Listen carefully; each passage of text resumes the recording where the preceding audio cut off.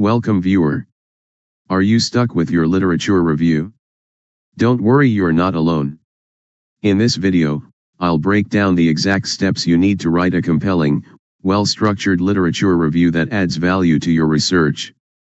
Let's make research writing simpler, one step at a time. Welcome to this step-by-step guide on writing literature review. A literature review is not just a summary of past research. It's a critical analysis of what's been done, what's missing, and where your study fits in. It lays the foundation for your research by showing you've done your homework. Why is literature review is important?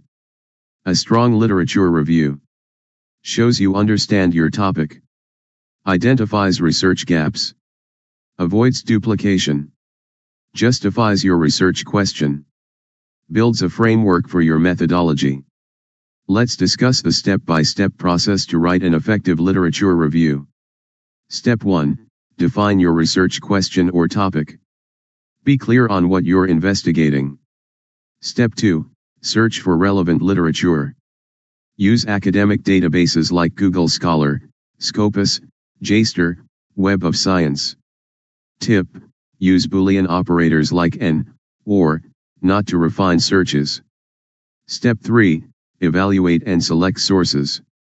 Prioritize peer-reviewed journals, books, and high-impact articles. Check relevance, recency, and reliability. Step 4. Organize the literature. Thematic. Chronological.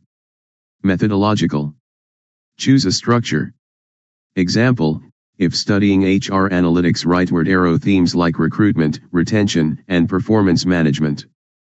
Step 5, Analyze and synthesize.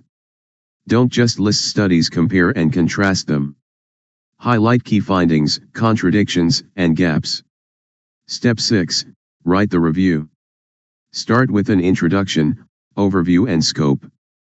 Middle, thematic slash chronological discussion. End, highlight gaps and lead into your study. Step 7, Cite properly.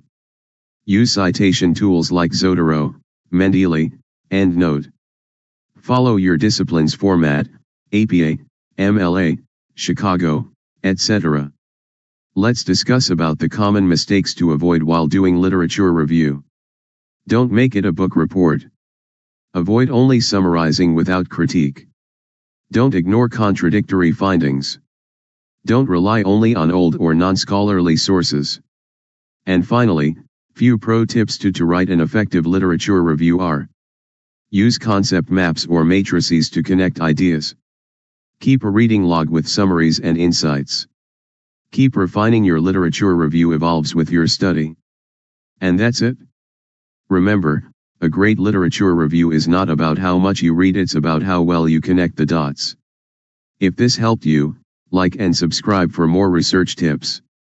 Got questions? Drop them in the comments, happy researching. Thank you for watching.